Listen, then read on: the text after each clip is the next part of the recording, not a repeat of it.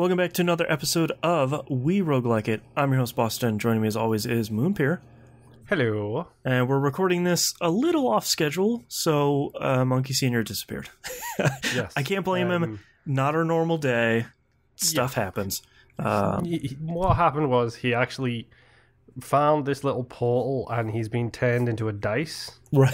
yes, right. So for, we've got to wait and see if he can spin the wheel and get a star or if he gets a skull. His one wish was to get off of this show. Yes.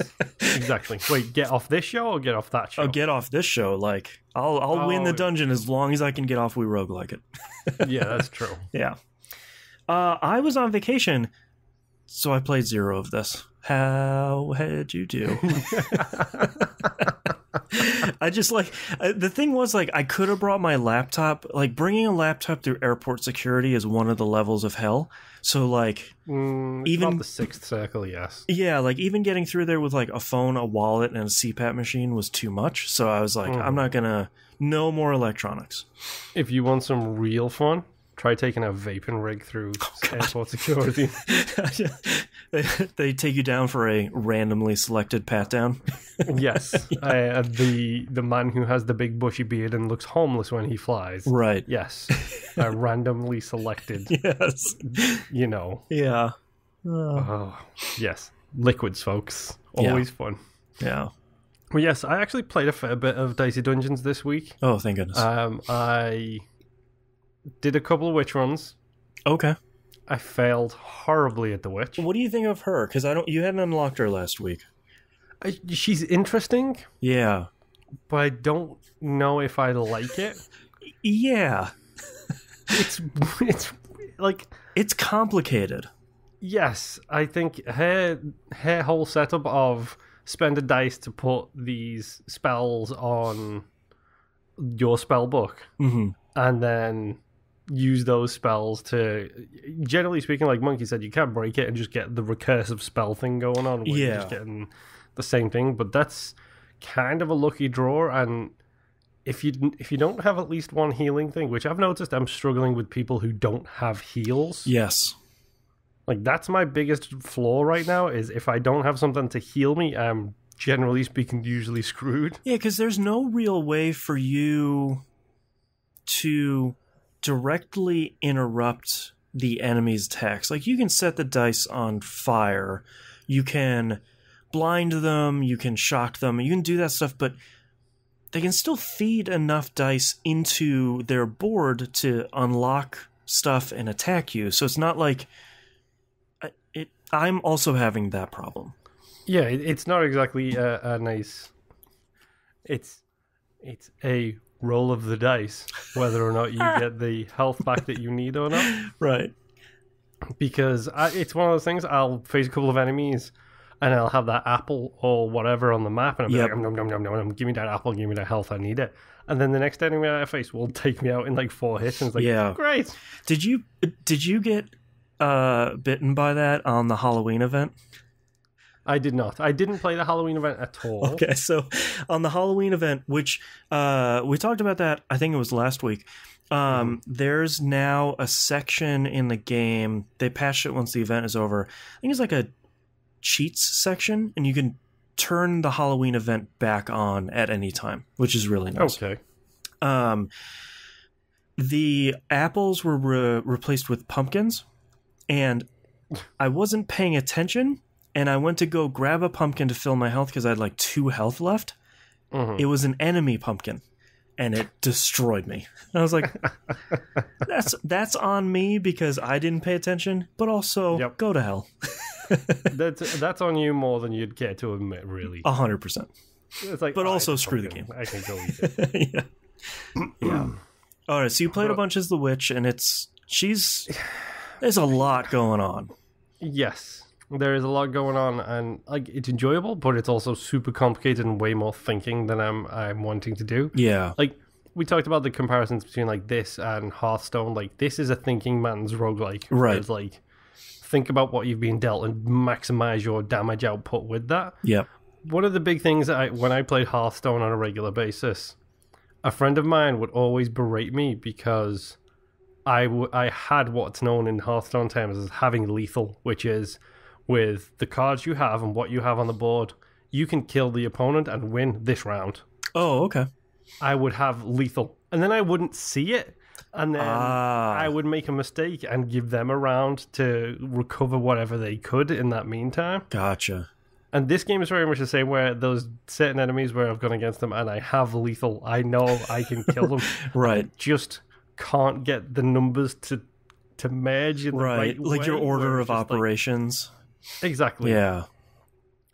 So it's one of those things where with her, it's like I'm always I could maximize it so much better if I just stopped, take a beat, Do the think about math. what you're doing, right. and then do it. Right. Don't just go, ooh, dice, move, Uh, That's move, why I like move." playing the robot. I'm gonna hit, keep hitting the button.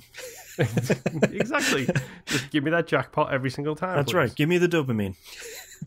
But that's actually something that I played the thief as well. Mm.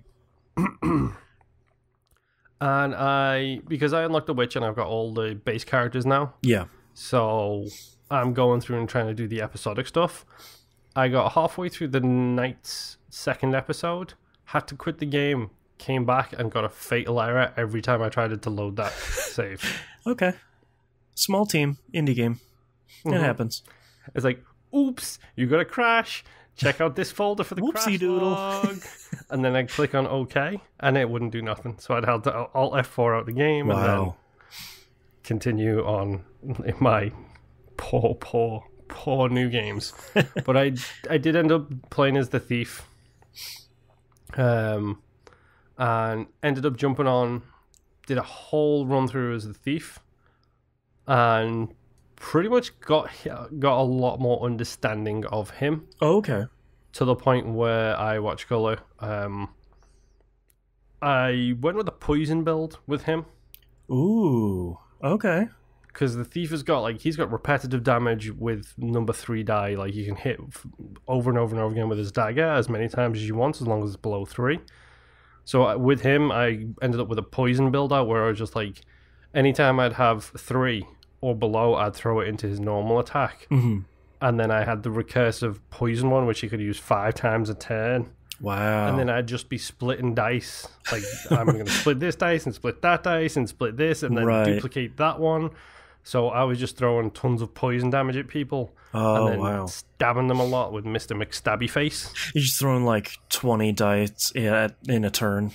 hmm Interesting. And I pretty much cruised through his setup as soon as I had a healing spell for him. There was a couple of close calls, but then I ended up with a healing build for him, and it ended up working really, really well Hmm. for being able to just jump in, put as many dice as I could into the healing one, then save it for when I needed it. Do stabby, stabby, poison, poison, and then when he starts to get me to low health, one more dice into the healing one. I'm healed. Gotcha. All right. Yeah, you had a good workflow going there. So yeah, the the thief worked out pretty nicely, and then I tried other ones and failed. I'm really struggling with a couple of these, like, like not the witch, but the one before the witch. The inventor? Yes, really struggling with that one. I that is I just yeah. I don't know. I don't know what to do with. the It's a cool idea. I just I feel like I don't get it yet. Yes, one hundred percent. Yeah. Yeah, that's pretty much all I did. Okay. Well, I I really wanted to play Dicey Dungeons. I it's one of those things where it's like, man, I wish I had this on my phone, or I wish I had some way to play this where I was here. But alas, it's it's not on anything except for PC yet, which is fine. Um, but Mhm. it it seems like it lends itself to to being a touch game pretty well. Yeah, I could see it transitioning smoothly into a controller base. Yeah, I think so too. like with a little bit of UI that could work pretty nicely on pretty much everything and yeah, give it to phones like just get it on phones yeah. Get it on Switch. Have people playing it. yeah switch is a good call as well Yeah. Switch, you could use a touchscreen too. Hire us as consultants.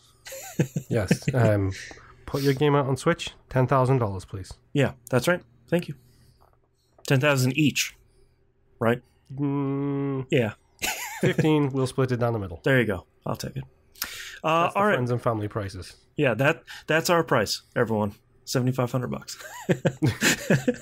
all right. Well, thank I you. do a lot for seventy five hundred bucks, dude. Yeah, you. We don't have time or the explicit tag for me to tell you what we'll do.